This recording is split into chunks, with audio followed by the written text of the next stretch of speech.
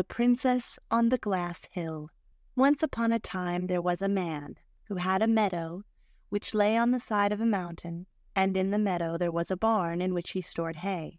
But there had not been much hay in the barn for the last two years, for every St. John's Eve, when the grass was in the height of its vigor, it was all eaten clean up, just as if a whole flock of sheep had gnawed it down to the ground during the night.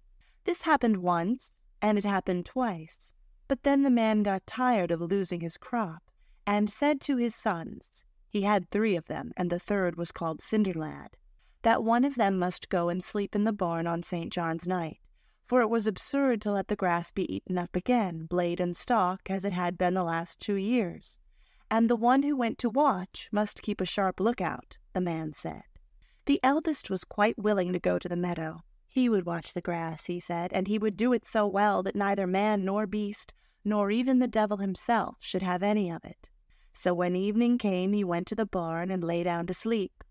But when night was drawing near, there was such a rumbling and such an earthquake that the walls and roof shook again, and the lad jumped up and took to his heels as fast as he could, and never even looked back. And the barn remained empty that year, just as it had been for the last two. Next St. John's Eve, the man again said that he could not go on in this way, losing all the grass in the outlying field year after year, and that one of his sons must just go there and watch it, and watch well, too.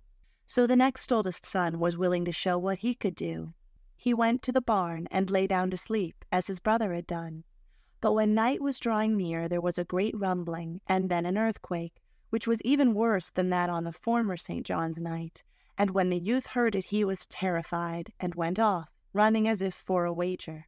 The year after it was Cinderlad's turn, but when he made ready to go, the others laughed at him and mocked him.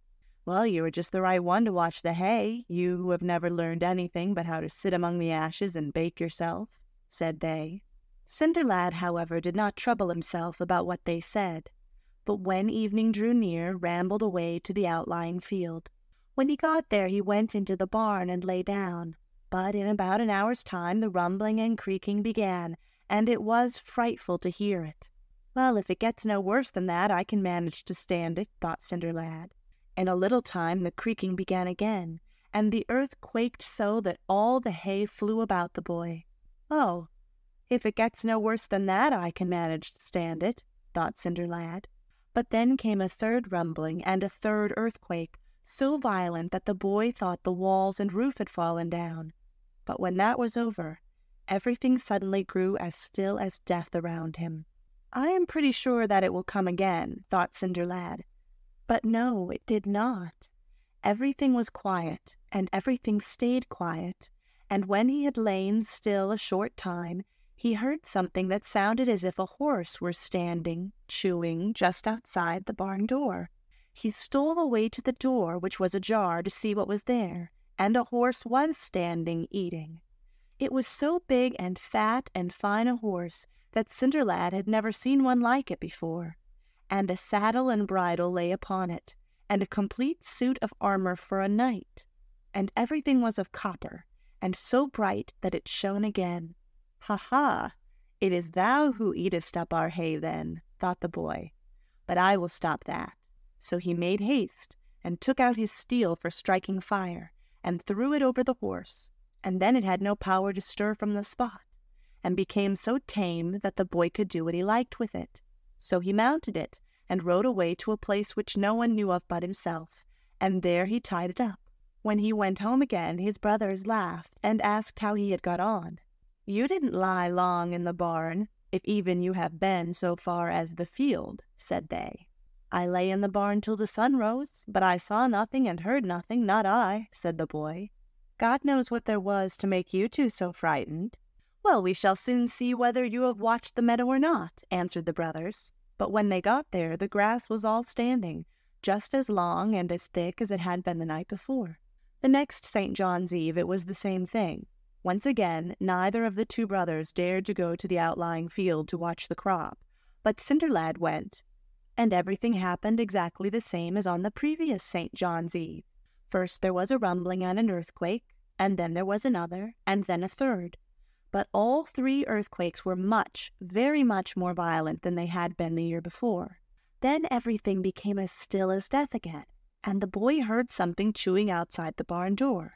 So he stole as softly as he could to the door, which was slightly ajar, and again there was a horse standing close by the wall of the house, eating and chewing, and it was far larger and fatter than the first horse, and it had a saddle on its back, and a bridle was on it too, and a full suit of armor for a knight, all of bright silver, and as beautiful as anyone could wish to see.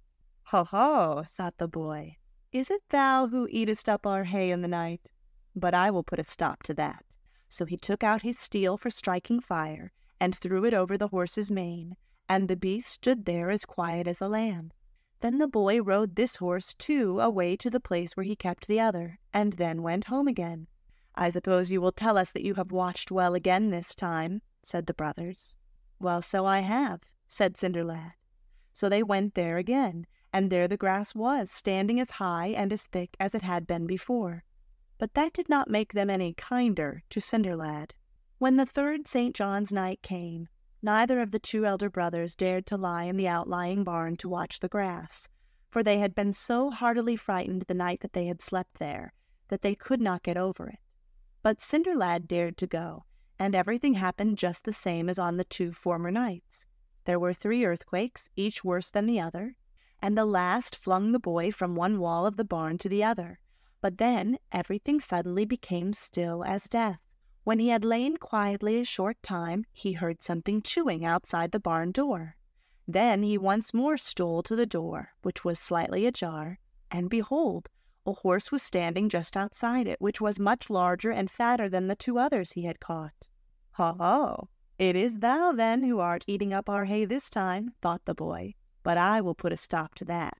So he pulled out his steel for striking fire, and threw it over the horse, and it stood as still as if it had been nailed to the field, and the boy could do just what he liked with it.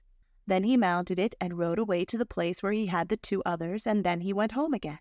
Then the two brothers mocked him just as they had done before, and told him that they could see that he must have watched the grass very carefully that night, for he looked just as if he were walking in his sleep. But Cinderlad did not trouble himself about that, but just bade them go to the field and see.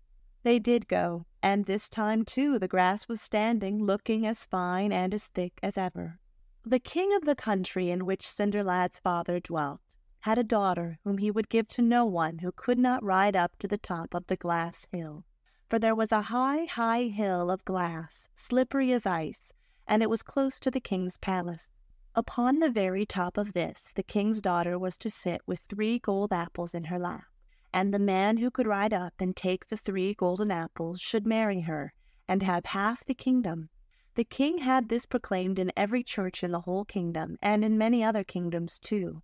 The princess was very beautiful, and all who saw her fell violently in love with her, even in spite of themselves. So it is needless to say that all the princes and knights were eager to win her, and half the kingdom besides, and that for this cause they came riding thither from the very end of the world dressed so splendidly that their raiments gleamed in the sunshine, and riding on horses which seemed to dance as they went. And there was not one of these princes who did not think that he was sure to win the princess. When the day appointed by the king had come, there was such a host of knights and princes under the glass hill that they seemed to swarm, and every one who could walk or even creep was there too, to see who won the king's daughter. Cinderlad's two brothers were there too, but they would not hear of letting him go with them, for he was so dirty and black with sleeping and grubbing among the ashes that they said everyone would laugh at them if they were seen in the company of such an oaf. Well, then, I will go all alone by myself, said Cinderlad. When the two brothers got to the glass hill, all the princes and knights were trying to ride up it, and their horses were in a foam. But it was all in vain, for no sooner did the horses set foot upon the hill then down they slipped, and there was not one which could get even so much as a couple of yards up. Nor was that strange, for the hill was as smooth as a glass window pane and as steep as the side of a house. But they were all eager to win the king's daughter and half the kingdom, so they rode and they slipped, and thus it went on. At length all the horses were so tired that they could do no more, and so hot that the foam dropped from them, and the riders were forced to give up the attempt.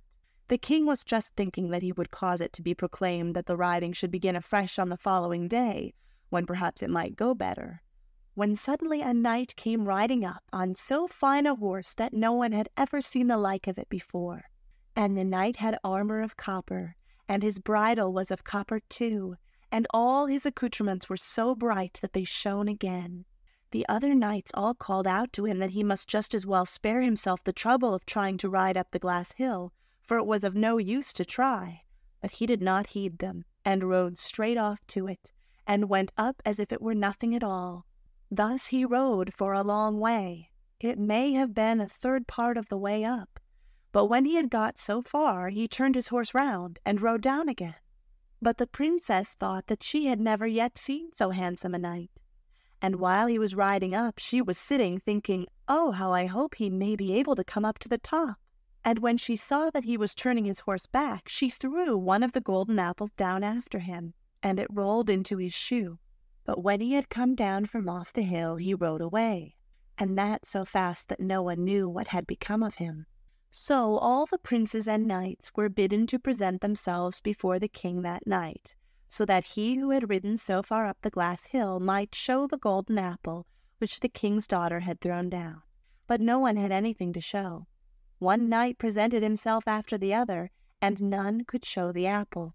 At night, too, Cinderlad's brothers came home again, and had a long story to tell about riding up the glass hill. At first, they said, there was not one who was able to get even so much as one step up. But then came a knight who had armor of copper and a bridle of copper, and his armor and trappings were so bright that they shone to a great distance, and it was something like a sight to see him riding. He rode one third of the way up the glass hill, and he could easily have ridden the whole of it if he had liked. But he had turned back for he had made up his mind that that was enough for once. Oh, I should have liked to see him too, that I should, said Cinderlad, who was as usual sitting by the chimney among the cinders. You indeed, said the brothers. You look as if you were fit to be among such great lords, nasty beast that you are to sit there. Next day the brothers were for setting out again, and this time too Cinderlad begged them to let him go with them and see who rode. But no, they said he was not fit to do that, for he was much too ugly and dirty. Well, well, then I will go all alone by myself, said Cinderlad. So the brothers went to the glass hill, and all the princes and knights began to ride again, and this time they had taken care to roughen the shoes of their horses. But that did not help them. They rode and they slipped as they had done the day before, and not one of them could get even so far as a yard up the hill. When they had tired out their horses so that they could do no more, they again had to stop altogether. But just as the king was thinking that it would be well to proclaim that the riding should take place next day for the last time, so that they might have one more chance, he suddenly bethought himself that it would be well to wait a little longer to see if the knight in copper armor would come on this day too. But nothing was to be seen of him. Just as they were still looking for him, however, came a knight riding on a steed that was much, much finer than that which the knight in copper armor had ridden.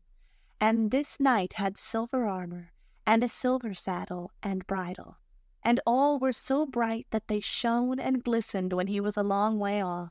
Again the other knights called to him and said that he might just as well give up the attempt to ride up the glass hill, for it was useless to try.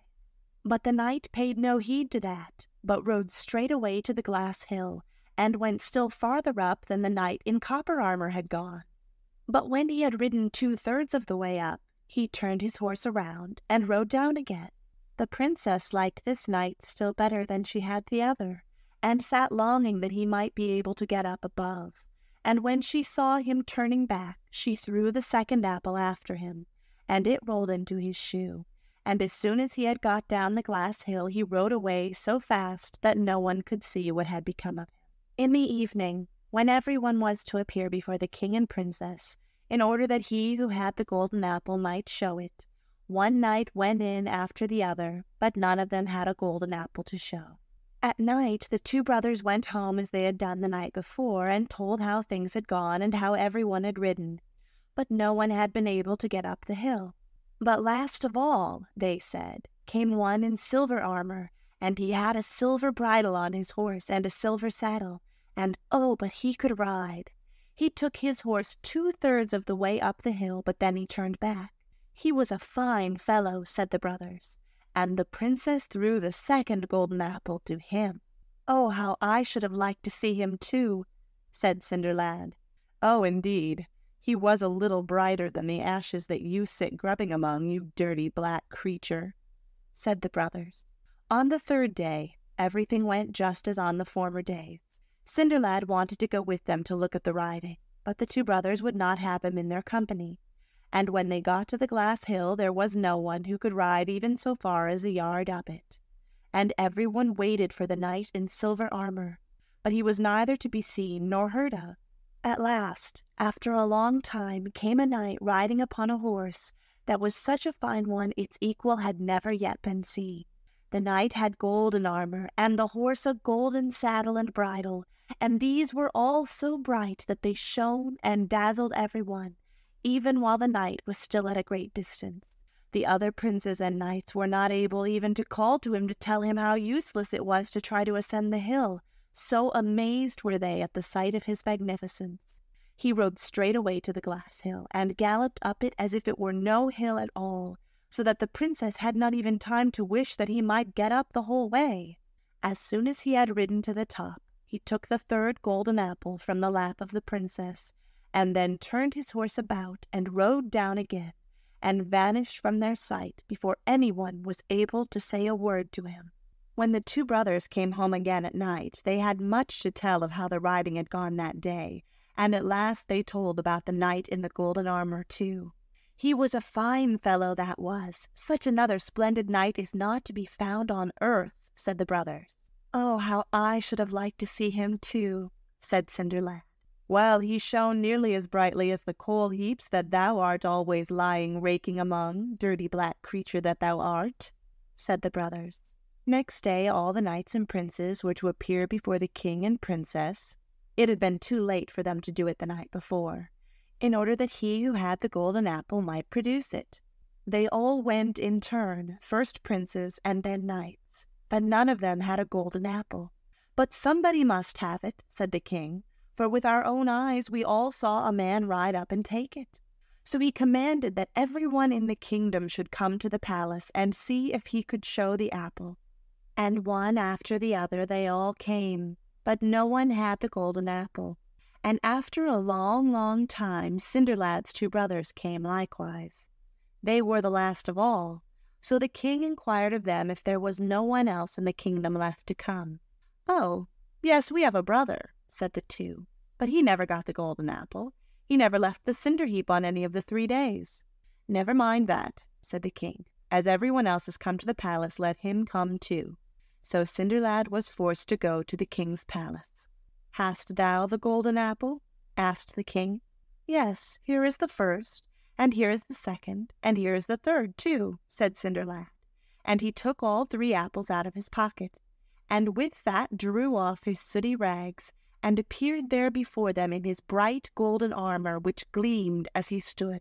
Thou shalt have my daughter, and the half of my kingdom, and thou hast well earned both, said the king. So there was a wedding, and Cinderlad got the king's daughter. And every one made merry at the wedding, for all of them could make merry, though they could not ride up the glass hill. And if they have not left off their merrymaking, they must be at it still. Asbjörnsen and Moe. End of The Princess on the Glass Hill.